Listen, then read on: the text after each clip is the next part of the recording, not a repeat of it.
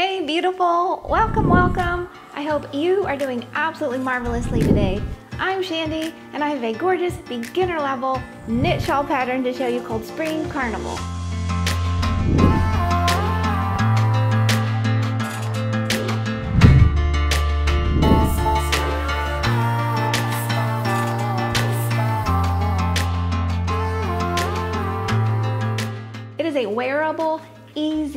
Elongated triangle pattern and it only uses basic stitches like knits, purls, yarn overs, knit two togethers. So if you know how to do those stitches and you've made a few projects, hopefully you should have no problem making this pattern. One thing I really love about this pattern is that it actually looks more complex than it is, and that's just due to the color changes and then the texture changes, but they're all just made up of those basic stitches. I'm gonna actually show you two different versions today. This version is our original version, and we made it in these gorgeous, bright spring colors. They're nice and bright and popping. And then, since we're heading into fall, we thought we would do a more muted autumn palette. So this one is, oh, just so lovely in this beautiful greens and plum tones and this champagne color. You could do a summer version in bright colors or a winter version in icy blues and whites. Really just make it your own. As a matter of fact, just make one for all the seasons and you'll be good to go. Oh, and I hope this Spring Carnival shawl reminds you that Every day can feel like spring and every day can be full of wonder and joy. So hopefully you keep that in mind while you're knitting this pattern. For those that are curious, the yarn we used in this shawl is our buttery and glowing Alpaca Silk DK. I love this yarn so much. As you can see, it makes really, really gorgeous shawls and I personally love it and I reach for it all the time when I have a new sweater I wanna make or a cardigan. It just drapes. It has a really great combination of drape versus structure and it just feels so cozy. Really, really love it. So I'm gonna show you just how easy it is to work this shawl today by demonstrating a few of the sections for you. To get started, we're gonna cast on five stitches.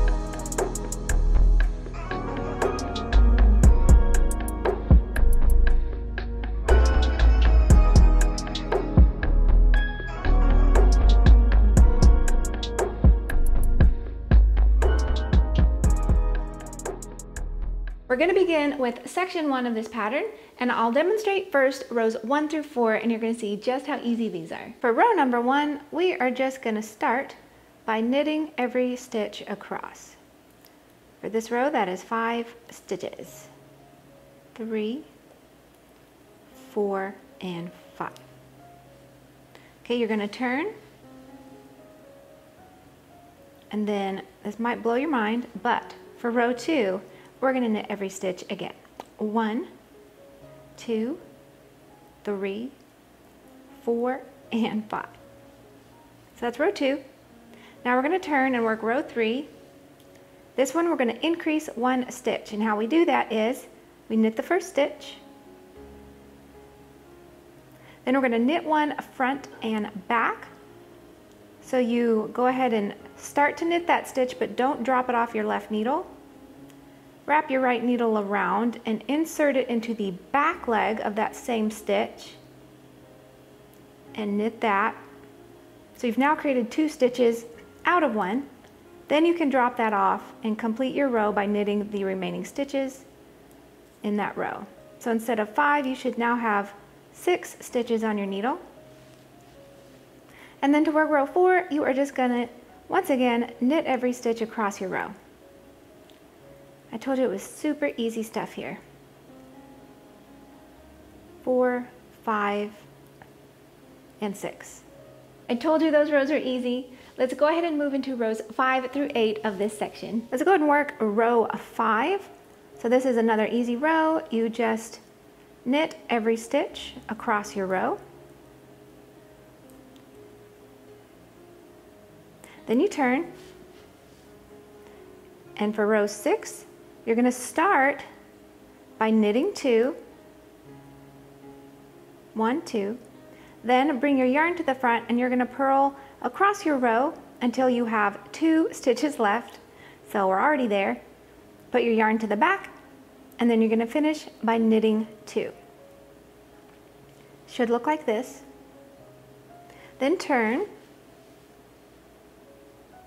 And for row seven, we're going to start with a knit one and this is another increase row. So to increase a stitch, we're gonna knit one front and back. Knit into the front of that next stitch, swing your needle around the back, knit also into the back leg of that same stitch, and then slide that stitch off your left needle, and then continue knitting the remainder of the stitches on that row.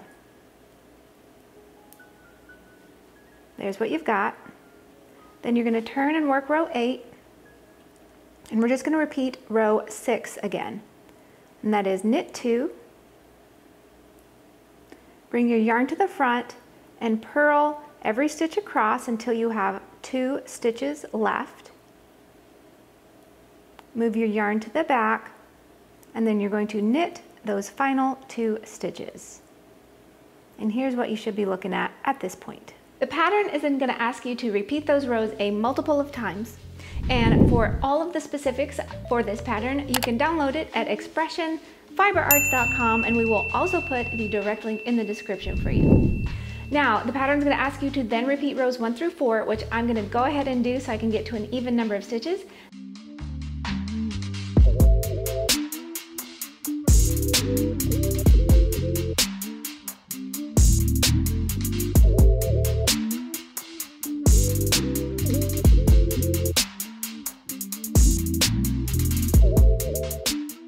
Completed section one by now. I'm just gonna do a small swatch today, so I'm gonna go ahead and move into section two.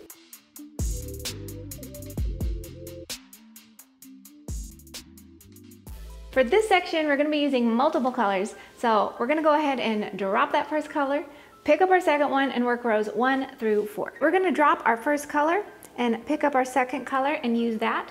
So let's start with row one. We're gonna begin with a knit two, one and two. Then we're gonna repeat across our row, yarn over, knit two together until we have two stitches left. Yarn over, knit two together, yarn over, knit two together, and when you have two stitches left on that row, you are going to knit them. Now let's go ahead and turn. For row two of that section, we are going to start with a knit two, one, two, then we're going to purl across until we have two stitches left. Making sure to bring your yarn to the front when you purl. And then when there's two stitches left on that row, move your yarn to the back and then knit those final two stitches. Just give that a little cinch so it stays nice and tight there. Okay, moving on to row three of this section. We're gonna begin with a knit one and a knit front and back. So we are increasing this row. Knit one, and then knit one into the front of that stitch, swing around, knit into the back of that stitch. So we've just increased one stitch. Then we're gonna repeat across our row until there's two stitches left yarn over, knit two together. Again, yarn over, knit two together, and we're down to two stitches, so we are going to knit them. And here's that row for you. You can see we're getting these little eyelet holes here. Go ahead and turn. Now to work row four, we are going to knit two to begin. Then bring your yarn to the front. Purl all those stitches all the way across until you have two stitches left on your needle. Send your yarn to the back and then knit those final two stitches. And here's what you should see.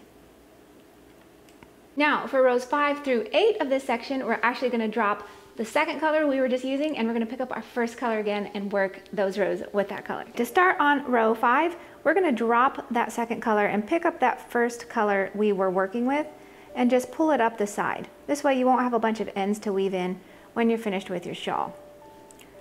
Let's go ahead and begin by knitting every stitch this row.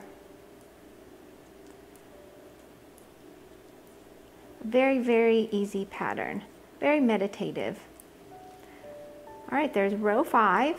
Go ahead and turn. And now row six is another easy row.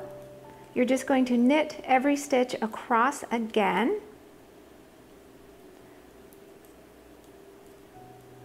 And here's what you should have so far. Now go ahead and turn.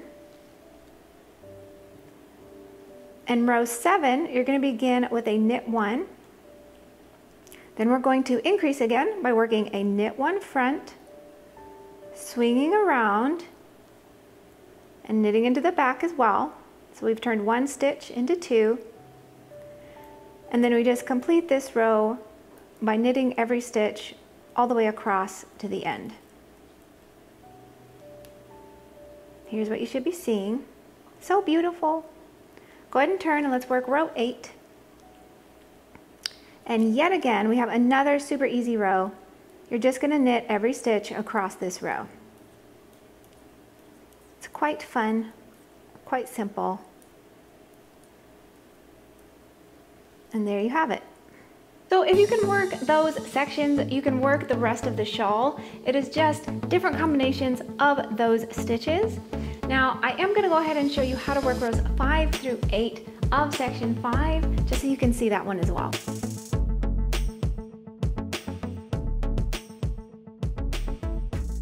Here's how you work rows five and six of that section. For row five of section five, you're gonna start with a knit two. One, two. Then you're going to repeat across your row, purl one, knit one until you have three stitches left. Bring your yarn to the front and purl one. Send it to the back and knit one. Bring it to the front and purl one. Send it to the back and knit one. Continue repeating all the way across your row and you will have more stitches than this. I just wanted to demonstrate a small swatch today. When you have three stitches left, you're going to purl one, and then knit two.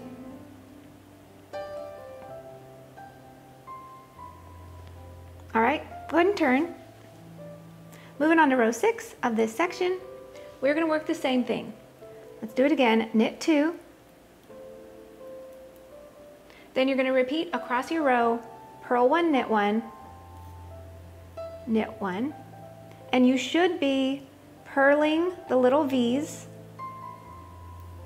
and when you come to a little purl bump, a little pearl necklace, you're knitting those. There's a V, you purl it.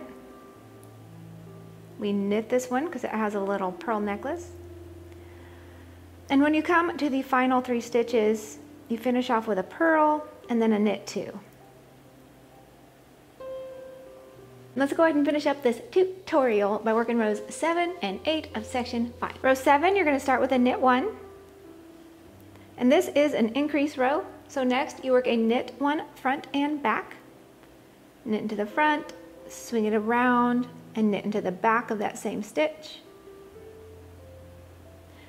Then you repeat across purl one, knit one, until you have three stitches left. So again, you should be purling when you come to those V's, and then knitting the stitches that have the little purl bumps. Purl one, knit one, purl one, knit one, and when you come to the final three stitches, you're going to purl one, knit two. We're actually creating seed stitch here in the center. Go ahead and turn. Now we're going to work row eight. So we start with a knit two, one, two, then you repeat across your row, purl one, knit one to the last two stitches, purl one, knit one, purl one, knit one, and again, just make sure when you come to a little V, you purl it, and when you come to a stitch with a pearl necklace, you knit it. Purl, knit, and then the final two stitches, you knit them. And it should look like this. And the rest of the shawl is that simple. You're just combining those stitches in different ways to create the different sections, changing colors as the pattern dictates or as you wish. Or if you feel more comfortable, you can just work the whole thing in one color. Also, you can stop working on this shawl at any time since it is a growing triangle. So if you run out of yarn or if you just like the way it looks before you've reached the end of the pattern instructions, you can just be done and call it a day. And that is it for today. I hope you enjoyed this tutorial and that it really helped you and that you make your own beautiful version of this pattern. We would absolutely love to see it. Make sure you hop on over to expressionfiberarts.com and download this pattern. And you can also click the direct link in the description box. And whatever you do, go out and make this day, this beautiful day, absolutely amazing. Thank you again. I'm gonna see you in the next video. Bye-bye for now.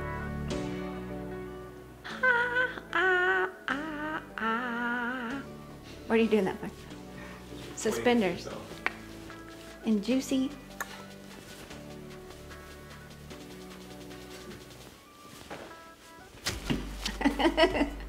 Transition. ah, round tones. Thank you for watching. Make sure to make today an amazing day. What? what? You told me to react. Again. With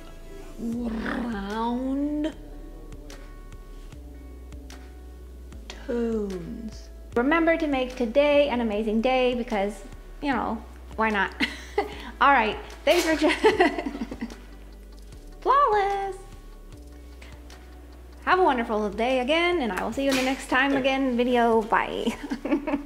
I can't talk today. Catch you next time, and I'm going to see you in the next video. Bye.